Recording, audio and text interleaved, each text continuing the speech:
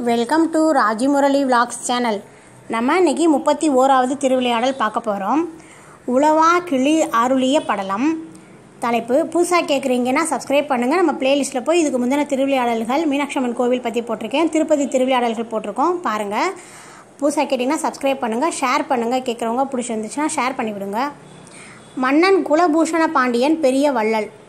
சிவ புண்ணியங்களை தவறாது செய்து வந்ததால் பேரும் புகழும் பெற்றான். இதனால் அவனுக்கு அகந்தை ஏற்பட்டது. அகந்தை கொண்ட மன்னன் குலபூஷணனுக்கு மருந்து தர முடிவு செய்தார் சுந்தரேஸ்வரர். மன்னன் தவறு செய்தால் மக்களுக்கு பாவம். மக்கள் தவறு செய்தால் மன்னனுக்கு பாவம் ஏற்படும் என்பது நியதி. இப்போது மன்னன் செய்த பாவத்தால் மதுரை மக்களுக்கு சோதனை ஏற்பட்டது. மழை இல்லாமல் பயிர்கள் வாடின. வேதம் கற்ற அந்தணர்கள் யாகங்களை சிறப்பாக செய்து வர்ணனுக்கு அவிர்வாகம் போய் சேர்ந்தால்தான் அவன் மகிழ்ச்சியுடன் மழையை கொடுப்பான். அவ்வாறு மறுத்தால் ஒன்று பெருமழை கொட்டி பயிர்களை அழித்து விடுவான்.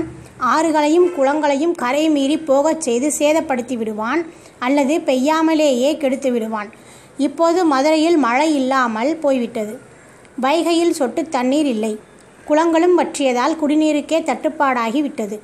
இது நீண்ட காலம் நீடித்ததால் பசி பட்டினி என மக்கள் வருந்தினர். மன்னனுக்கு தனக்குள் ஏற்பட்ட அகந்தை புரியவில்லை. ஆனால் நான் என்னவெல்லாம் பூஜை செய்கிறேன்? மக்களை நன்றாகத்தானே கவனிக்கிறேன். கஷ்டப்பட்டவர்களுக்கு வரி விலக்கெல்லாம் கொடுக்கிறேனே. சுந்தரேஸ்வரர் கோவிலில் ஆறு கால பூஜைக்கு குறையாமல் செய்கிறேனே. என்ன பிரயோஜனம்? என் நாட்டில் மழை இல்லாமல் செய்துவிட்டாரே இந்த பரமசிவன். சோமசுந்தர கடவுளே சுந்தரேஸ்வரா தென்னாட்டுடைய சிவனே இந்த சோதனையை ஏன் தந்தாய்? என்று அரற்றினான். கோயிலுக்கு சென்று இறைவனை வணங்கினான். அங்கே எந்த பதிலும் கிடைக்கவில்லை. அரண்மனைக்கு வந்து பஞ்சனையில் படுத்தான். கண்கள் மூடி இருந்தாலும் இவனுக்கும் தூக்கம் வராமல் புரண்டான். அப்போது யாரோ ஒருவர் வந்து அவனது கையில் ஏதோ ஒன்றை கொடுத்தது போல் இருந்தது. இதன் பெயர் உளவா கிளி. இதிலுள்ள பொருளை மக்களுக்கு கொடு. இதிலிருந்து அல்ல அல்ல குறையாது என்று அவன் காதுகளில் ஒலி கேட்டது. திடுக்கிட்டு எழுந்த அவனது கையில் ஒரு பொற்கிளி இருந்தது. அதனுள் தங்க நாணயங்கள் ஏராளமாக இருந்தன. சுந்தரேஸ்வரரே நேரில் வந்து தந்ததாக கருதிய அவன் சுந்தரேஸ்வரா எங்கள் வறுமையை இந்த பொற்கிளியில் உள்ள தங்க காசுகளை கொண்டு சரி செய்து விடுவோம். ஆனால் பஞ்சம் ஏற்பட்டதற்கான காரணம் தெரியாவிட்டால் நான் என்ன தவறு செய்தேன் என்பது தெரியாமலே போய்விடுமே என்று சொல்லிவிட்டு படுத்தான்.